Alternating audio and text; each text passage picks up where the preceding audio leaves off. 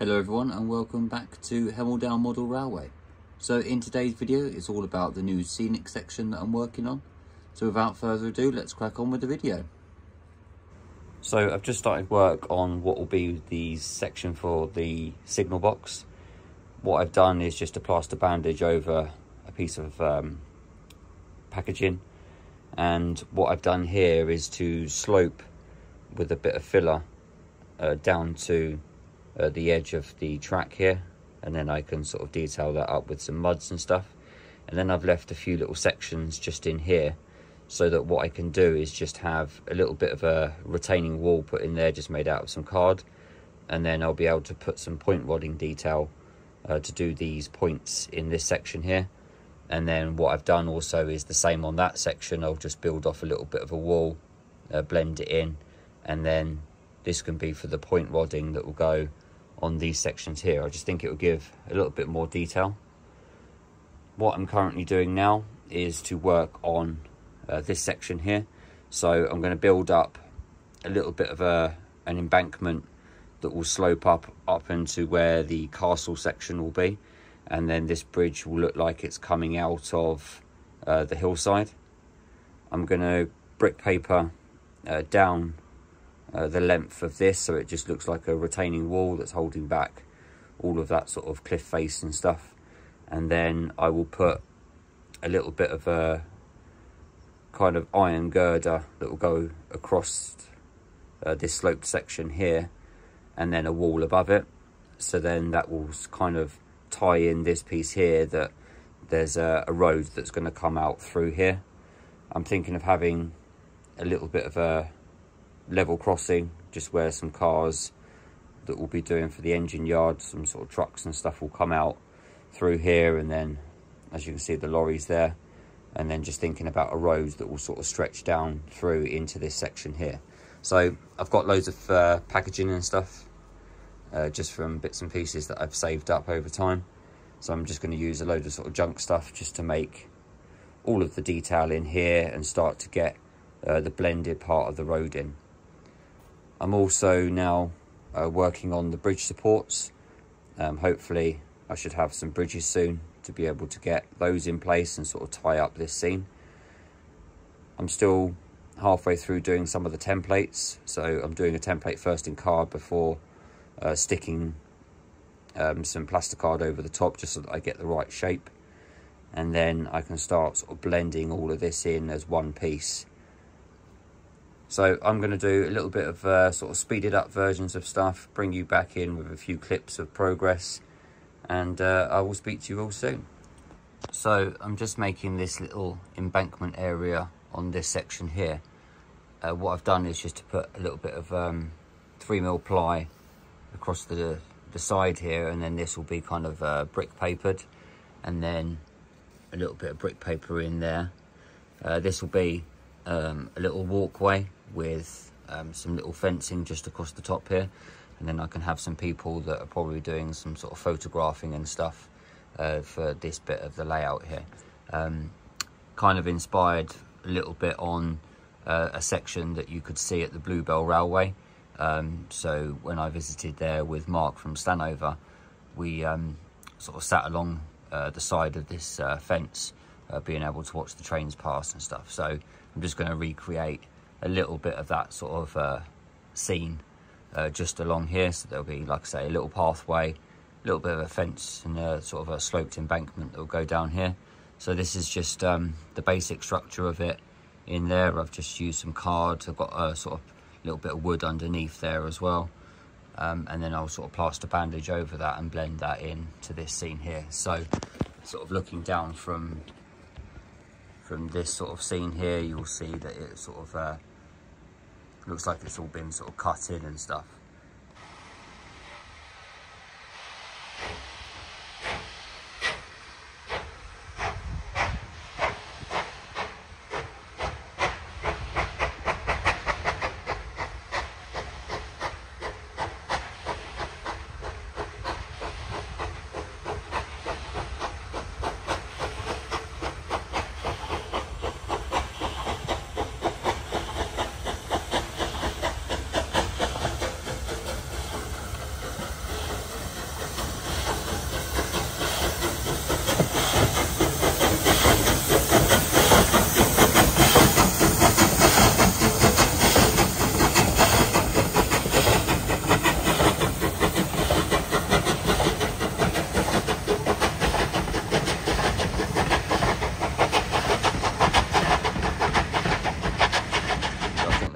Good. And then also, you know, doing some sort of uh, running shots from stuff on the side here as if, you know, being one of those uh, photographers and stuff on the side. I think it will uh, look quite good. In the distance there, you can see that I've just um, started making a bit of a, a rock face. Uh, that's going to be plaster bandaged up as well. I've just used some Copydex just to uh, kind of sort of blend, uh, sorry, uh, use some Copydex to kind of sort of stick that all together. Uh, so that's just drying up in the corner. And then I'll uh, plaster cloth that as well. And then I think it gives a nice sort of view of the bridge or what will come out of that sort of cliff face and then the trains disappearing off uh, through the background there. So once I've got all of the sort of basic structures in there, I'll then be um, now linking up uh, this sort of top part of the layout and then I can start work on some detail for the castle scene and putting in the road and stuff all up in there. So yeah, I'm cracking on quite a lot with all the base structures and then once the weather warms up, I'll get into doing a lot more sort of uh, detailing, you know, static grassing, getting all the ballast down and stuff where the drying times will be quicker. Because um, if I start doing them now, it's going to take sort of three or four days before I can move on to the next project. So I'm just doing all the big, all the big jobs so that I can then sort of get them painted up over time and just sort of kind of take my time with it and sort of develop the scene as I go along. Right, so I'm going to crack on with a little bit more and uh, I'll bring you back in a moment.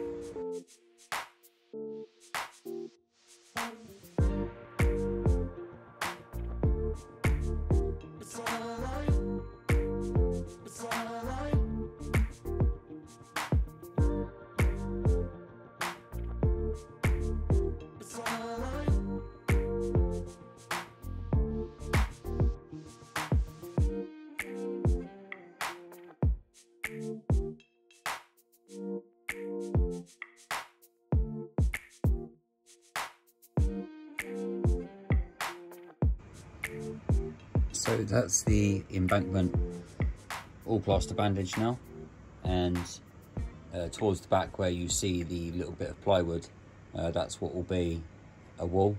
So I used a ruler just so that there's a little gap so I can poke the paper down and then I'll put some very fine sort of bushing uh, just so that if I am doing any kind of uh, running shots from there uh, it will just look like it's a wall in the in the distance there.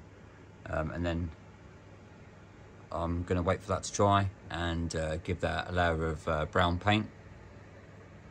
And uh, yeah, this scene is starting to uh, come together now. It's uh, nice to get some sort of basic shapes on there with a track in there and stuff like that as well. Um, so I'm feeling pretty happy and uh, confident that all the big structures are done. Right, let's look at what else I've been up to. So just in the background here, you can start to see I've just started to make uh, the Wills uh, water tower. So I've just put the first layer of paints on there. And I've just got to now make sort of make the top up and stuff like that as well. But that's uh, another little addition to the engine shed area. I'm going to put some more cork uh, down in this um, centre section here because obviously where it's raised on cork here uh, it does mean that the engine shed's a little bit of a slope there. And the same with this one here. So I'm going to sort of gap up a little bit of um, cork just into this section here. And then I'll probably raise a little bit of cork up on this side here just so that when I ballast it um, it will kind of I can sort of slope down this sort of section and have this all at kind of one level here as well. Um, and then what I'm going to do is uh, build a retaining wall uh, just along this edge and then there'll be a load more sort of scrap detail of uh, bits of locos and cab ends and old bodies of uh, locos so I'll have some sort of wheel sets and stuff in here and some old detail that's just been put to the side there and then also um, a little bit of sort of scrappage and maybe some huts and stuff up in this back corner here. So I've added in the cork to these back pieces here, just using a few items just to um, stick them down. And whilst waiting for that to dry, I'm going to crack on with some other bits. So what I've done here is just to use some uh, polystyrene. I've just made up a few layers of uh, plaster bandage over it just to kind of give it some rock shape and then what I'll do is go over it with some filler and pick out some sort of rock detail uh, ready for painting up. That piece there is uh, the piece that's in this corner here and what I've now started to do is to cut out a card template of what will kind of be a retaining wall. I'll put some sort of capping stones on there, line it with brick paper and it will look like it's sort of holding back all of that cliff edge as if it's uh, you know they've made it a bit of a, a, cutting for all of this bridge tunnels when they put it in. And uh, yeah they're sort of holding back all the rock face and stuff like that in that corner. So this is the rock structure that I just showed you uh, roughly put in its position just while it's drying.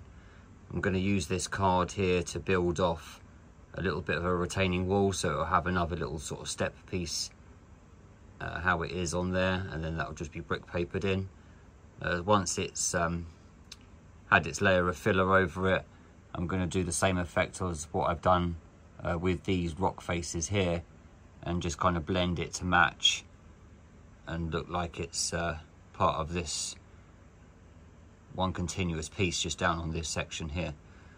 But I think it adds in something nice. It kind of uh, cuts off uh, the support of that back section there so you can't really see it.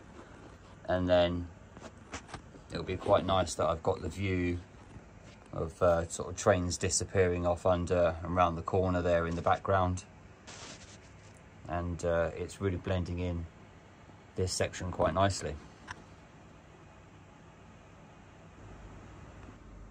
So I've now just added a layer of raw umber over the top just to kind of seal it all in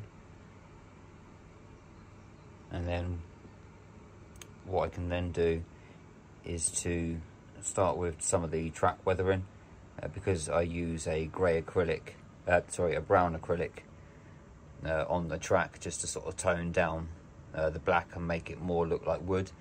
It doesn't really matter if I get any of the brown on uh, the overspray on these sections here because this is where you know there'll be all the sort of static grass and um, scatters and stuff to make all the embankments and bits for this section here. So it's a little bit better than all of the uh, sort of white plaster bandage. And uh, now I'm just waiting for this little piece up in the back there to dry. And uh, I've started making some more templates uh, for the corner uh, just to get all the plaster, plasticard done.